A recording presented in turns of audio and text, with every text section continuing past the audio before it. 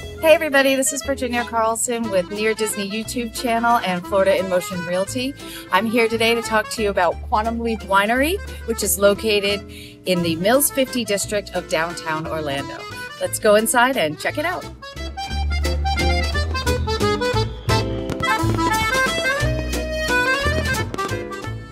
Hey everybody, I'm here with David Forster, one of the owners at Quantum Leap Winery.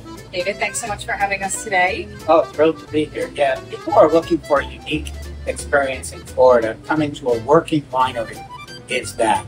We are the only winery in Florida that focuses on rye wine, or the wine that we're all used to from France, Italy, Chiantis, Napa Cabernets, that kind of wine, that's the wine we make here because the only grapes that grow in Florida are muscadine, which are sweet grapes.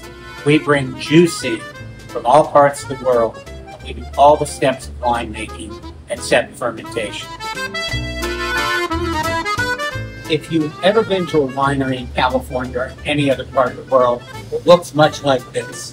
We do everything here except the fermentation. We have a full-time winemaker, 20 years experience, and we make between 20 and 30 different types of wine, from Pinot Grigio to Chardonnay, multiple Pinot Noirs, multiple Cabernets, and quite a few whites.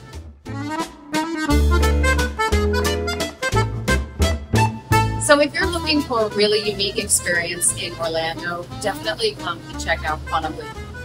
Thanks again, David. Thank you.